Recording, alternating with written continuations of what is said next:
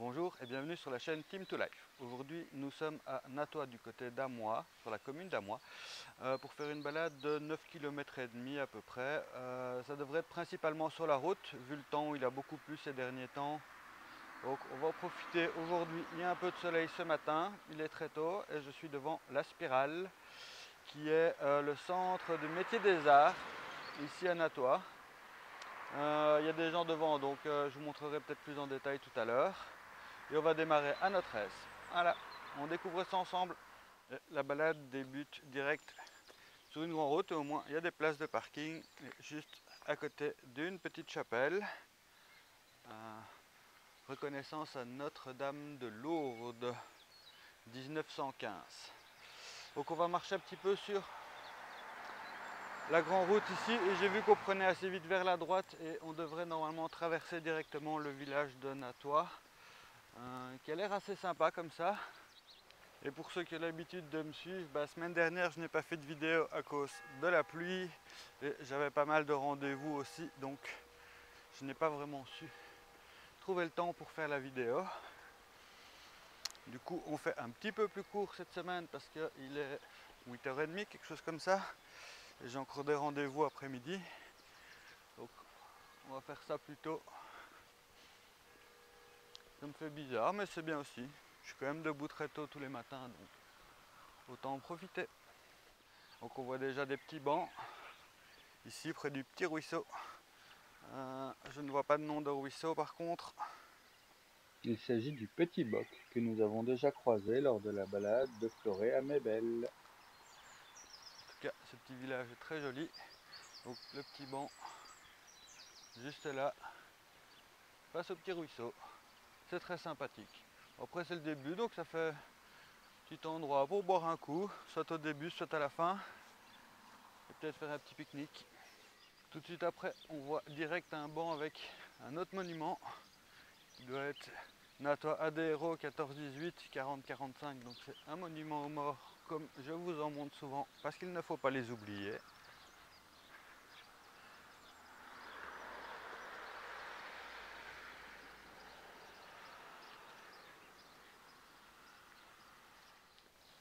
au début, ça grimpe un peu. Nato est un joli petit village assez pittoresque, comme on dirait. Ici l'église. Apparemment, on va passer derrière, pas devant. Dommage.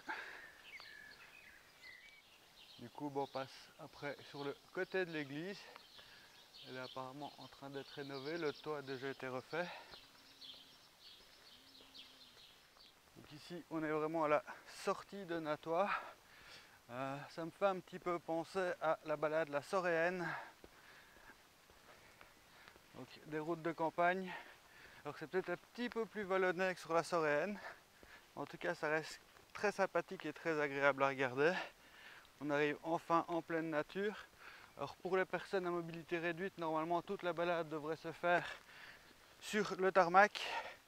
Donc ça va peut-être un petit peu long pour ceux qui préfèrent les chemins de terre mais ça reste accessible à tous. Euh, donc il y avait un symbole de poussette sur la balade, donc normalement ça doit être accessible partout en poussette.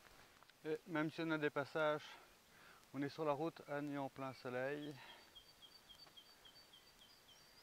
On revient quand même dans des allées où il y a des arbres, on reste en pleine nature, même si on est sur le tarmac. Ce qui promet pour les belles balades d'été d'avoir au moins un petit peu d'ombre tout en restant accessible. C'est quand même magnifique. Ici, en arrivant près de Gemène, petit panneau sur la réhabilitation écologique du Boc. Donc des aménagements, des, des petites informations si ça peut vous intéresser. Donc le Boc est juste ici. Moi je l'entends couler un petit peu, vous c'est pas sûr.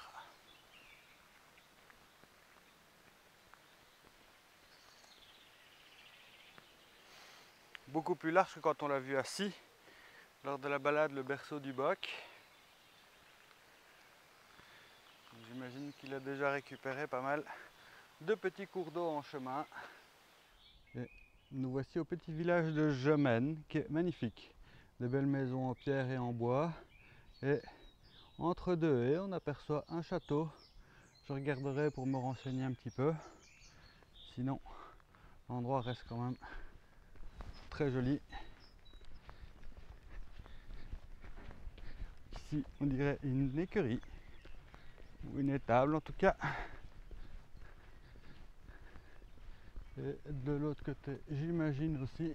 Il s'agit du château de Moufra. Je vous mets le lien dans la description. Après une longue ligne droite au milieu des champs sur des dalles en béton, on arrive quand même sur un début de chemin de terre. Alors, quand il fait sec, j'imagine qu'il n'y a pas de souci pour les PMR. Mais comme il a beaucoup plu ces derniers temps, euh, voilà, c'est un petit peu plus compliqué. Il y a un petit peu plus d'eau, le sol est un peu plus meuble. Maintenant, sinon, ça a l'air d'être bien rembourré. C'est pas l'idéal, mais c'est praticable au moins. Alors, on est toujours sur le chemin de terre qui est quand même bien dégagé. Ah, faire un petit tour sur le paysage partout autour. Il reste quand même très sympathique et très agréable à voir. Ici, on longe de loin un autre village. Je ne sais pas lequel c'est. Euh, je verrai peut-être un panneau plus loin. On vous dire à quoi. Alors c'est magnifique, mais pour une balade accessible au PMR, j'ai l'impression qu'ici c'est un petit peu compliqué. Euh, peut-être à cause qu'il a vraiment beaucoup plu ces derniers temps. Euh, je ne sais pas. En tout cas, c'est beau, c'est très sympathique. J'ai cru qu'on allait reprendre la route, mais on a repris un chemin juste avant. Euh, il y a un petit peu de vent, ça fait du bien. Par contre, ouais, une poussette, je veux bien, mais une chaise roulante, ça risque d'être compliqué ici. Euh, alors, au bout du chemin de terre, bah, il y a une possibilité de partir vers la route pour ceux qui trouvent que c'est un peu compliqué, par exemple en poussette ou en PMR. Ici, même si c'est un chemin de terre, ça reste relativement plat beaucoup plus que dans le chemin précédent. Alors c'est magnifique, on voit que la nature a repris ses droits et que toute la végétation est repartie. Malheureusement, c'est pareil pour les insectes.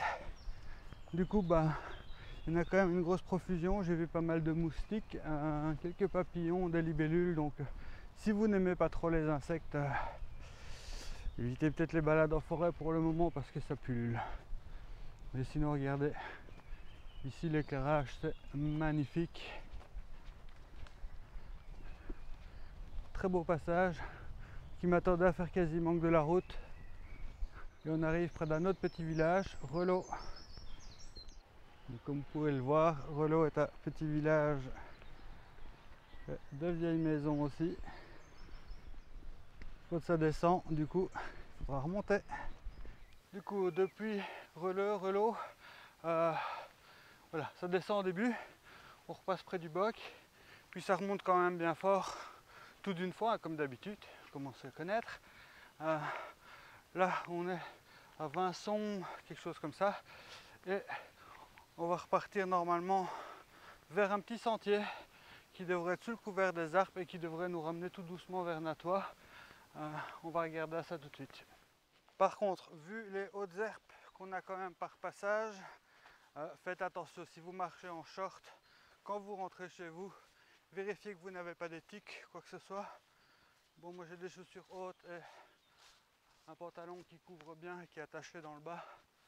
Donc normalement j'ai rien qui peut rentrer dedans. Mais soyez prudents, on ne sait jamais.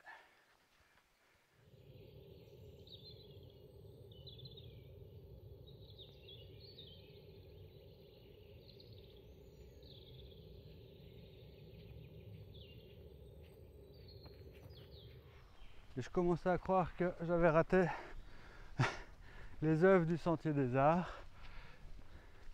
Mais non, c'est assez joli. Un tas de bois bien arrangé. Fracasse 4.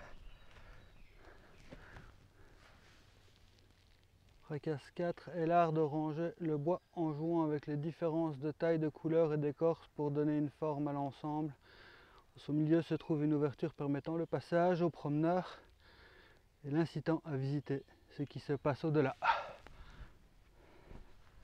C'est assez joli. Notre sentier sort du bois juste ici pour partir entre les champs. J'ai l'impression qu'on arrive tout doucement pour revenir à Natois. Euh, j'ai peut-être raté une œuvre parce que normalement il devait y en avoir deux sur le chemin et on n'en aura vu qu'une. Maintenant elles sont faites pour s'intégrer dans la nature donc c'est possible de ne pas l'avoir vue. Alors on arrive de là. Et vous avez la vue qu'on a ici dans le champ. Et je pense que là-bas c'est le village de Natois. Ici on va continuer et probablement retomber sur une route qui devrait nous ramener vers le début. Donc depuis là tantôt on est repassé par une partie euh, résidentielle je vais dire de Natois. Du coup je vais pas trop filmer, c'est pas hyper intéressant. Euh, juste un petit magasin, ça c'est intéressant crois que c'est au panier de Victor que ça s'appelait. Euh, si vous avez une petite course, envie d'aller chercher un petit truc à boire ou à manger en chemin, ça peut être utile. Alors ici, techniquement, on va arriver dans un des derniers passages de petits sentiers, car bah, on arrive tout doucement vers l'église de Natois. On devrait avoir un petit tronçon à faire en sens inverse de ce qu'on a fait au début de la balade. et on fera les conclusions après. Alors on aura peut-être encore une œuvre d'art, vu qu'on en a vu qu'une sur les deux. Alors soit je suis passé à côté, soit elle peut encore arriver, on verra bien. On vous dit quoi après? Alors je pensais faire ma conclusion, puis en terminant la balade ici devant la spirale, euh, j'ai discuté avec une des personnes en charge du site. Donc il y a une petite auberge, il y a moyen de boire un coup tranquillement. Les jardins sont apparemment toujours ouverts. Donc il y a moyen de venir voir. On m'a proposé de pouvoir venir faire ma conclusion ici, donc bien sympathique. Euh, ça peut prolonger votre balade. Si vous avez des enfants, ça, il y a tout un tour. apparemment la balade du Sentier des Arts passe par ici. Donc je ne vais peut-être pas tout faire. Mais ça vous donne un petit aperçu ils ont un site internet et euh, une page sur Facebook. Donc si vous venez faire la balade par ici en plein été, apparemment il y a plusieurs balades qui traversent le site. Je vois celle du Sentier des Arts et deux autres. Donc ça peut être très intéressant. On a le cours d'eau qui passe juste là. Alors ils n'ont pas d'expo aujourd'hui on est lundi et souvent bah, le lundi il y a beaucoup de choses de fermées. Il suffit d'aller regarder sur le site pour trouver les informations.